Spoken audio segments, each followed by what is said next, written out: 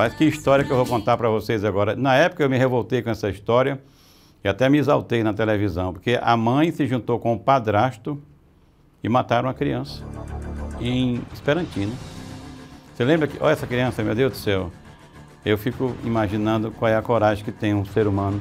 Se fosse um bandido, um assaltante que tivesse provocado essa morte, mas a própria mãe e o pai, né? A mãe e o padrasto, que é uma coisa perigosa. A Polícia Civil concluiu o inquérito e acaba de indiciar a mãe e o padrasto dessa menina, Ana Caroline, de três anos. Ela foi torturada e morta, feminicídio qualificado no contexto da violência doméstica e familiar. Esse crime aconteceu em abril desse ano em Esperantina, aqui no norte do Piauí. De acordo com a polícia, a criança foi submetida a constantes episódios de tortura dentro de casa. A menina ela foi bater no hospital de Esperantina no dia 15 de abril com quadro convulsivo, manchas escuras pelo corpo e a clavícula quebrada, fraturada. Olha que coisa linda. Funcionários do hospital desconfiaram da situação, acionaram o conselho tutelar, que notificou as autoridades policiais. A mãe e o padrasto estão presos por maus tratos desde abril desse ano. E com a conclusão do inquérito policial, a polícia representou pela conversão da prisão temporária em indiciados para a prisão preventiva. Olha aí um garoto, um rapaz desse tamanho, já pensou? Um braço dessa grossura batendo na criança daquela e a mãe assistindo a tudo e colaborando, meu Deus. Como é que você tem coragem, pelo menos, de puxar um cabelo de uma criança dessa, meu Deus do céu? um amorzinho desse, não é, gente? Por favor. Não dá para entender. E aí a mulher se apaixona por um caboclo desse, ela já tinha filha. Bota o caboclo dentro de casa, o caboclo aí enorme, um brutamonte, um incrível Hulk desse, né? A menina chora, ele se zanga. A menina gosta da mãe, a menina não quer ele como pai, porque o pai dela é outro.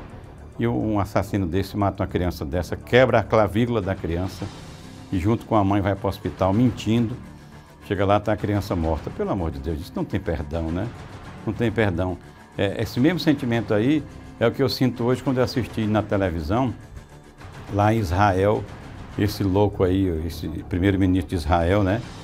É, o Netanyahu, começou a largar bomba de novo lá na, na, É uma briga deles aí nessa faixa de Gaza com a Palestina. E aí um diz que tem razão, não, porque invadiram, o outro está invadindo. O certo é que essa briga, ela é religiosa, ela é financeira e ela é principalmente ideológica. Não é uma briga para salvar o mundo, não é uma briga para melhorar as pessoas, não é uma briga para que se acabe a violência, não. É uma briga para aumentar a violência. Aí o, o, louco vai lá, todo dia mata 5, 10, a maioria crianças. Aí eu vi hoje, eu encho lá os olhos d'água porque eu vi crianças, meu Deus, escangotada, escangotada, sem água, sem bebida, sangrando no meio do tempo, não tem mais hospital, não tem mais nada, né? E tem um bocado de bandido e vagabundo que fica, fica defendendo a guerra, você acredita? Políticos, aqui em Teresina mesmo tem um bocado de vagabundo levantando a bandeira da guerra.